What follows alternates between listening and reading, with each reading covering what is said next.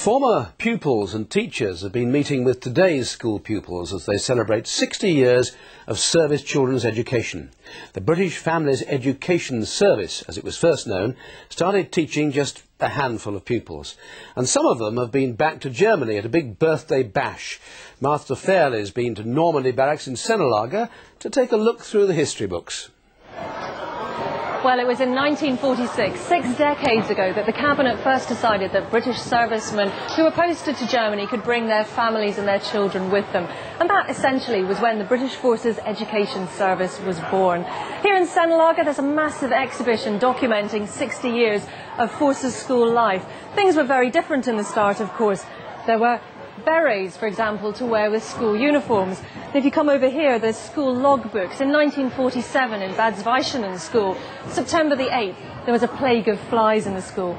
Well, some things don't change. For example, if you take a look at the BFES Gazette, they were discussing school meals in Germany. Well, nothing's really changed there. And take a look at some of this other memorabilia. This was taken from the Prince Rupert ship, and it's why we have Prince Rupert School in Germany. Well, joining me now is Sue Adams. Now, Sue, you've been a, a, pupil and a teacher at the Forces schools over the years. Coming back and seeing this exhibition, it must bring back a lot of memories. Um, how different were Forces schools when you first encountered them? Well, I was in Forces schools a long time ago. Um, in, uh, I attended the Royal Naval School, Verdala, and Tal Handaq in Malta, sort of, um, well, more years ago than I care to remember. And yeah, of course they were different then because the curriculum was different, the styles of teaching were different. So coming back today and looking at the you know lovely use of technology and uh, the broad spectrum of what the children are studying within the curriculum um, is very exciting to see. Well, as you can see, it's incredibly busy here today. We've got 300 pupils from schools across Germany, and they're holding a special celebration of their own. They're putting on a concert with music, dance, drama, just to showcase some of their talents. With me are two of today's pupils from King's School in Gütersloh. Uh, first of all, Ross, how important to you was it to be able to come out to Germany and go to a Forces school rather than a German one?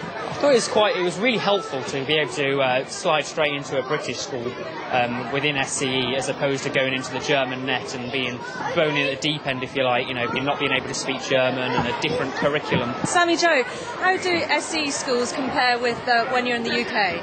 Well, when you first start um, a school in England, everyone like you sort of move in and everyone's kind of like don't want to really know you. They're reserved and but when you come to an SE school, everyone opens you welcome arms because there's so many people in your position.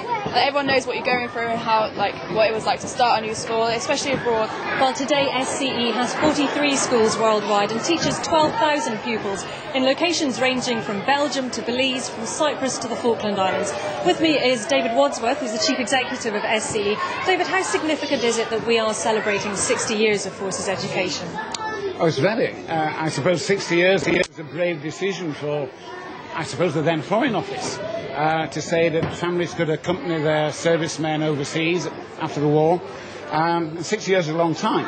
Of course, this organisation was actually quite a bit bigger in, in the 50s and 60s. Uh, but what we're celebrating is Germany. As you said, we are now a worldwide organisation anyhow. But, but here in Germany, I mean, it's fantastic because today gives us a chance to bring schools together. Uh, and we don't often do it. In fact, we very rarely do it because of the geographical spread. You know, Germany is a vast country. Uh, the spread of the schools in Germany is equivalent to trying to run a local education authority that stretches from London to Edinburgh. Uh, but our youngsters get the opportunities that, that, you know you would not have in the UK, both to experience a foreign country and to learn a foreign language. It's good. It's good. Thank you, David. Well, with us as well is Catherine Forsyth, who's the Director of Education. Catherine, with so many changes going on in the UK in education, how is SCE set up for the future? I think we're exceptionally well placed. If we look at the work that's going on in, in all our schools, there is significant development going on in terms of the 21st century curriculum, whereby youngsters could do some work in schools, but also work with the, the Army Education Centres and develop some aspects of vocational work um, to actually ensure that they've got equal opportunities in terms of expectations for 14 to 19 year olds. Catherine and David, thank you very much. It sounds like there's a lot to look ahead to. The celebrations continue here in Sennelager, but for now it's back to the studio.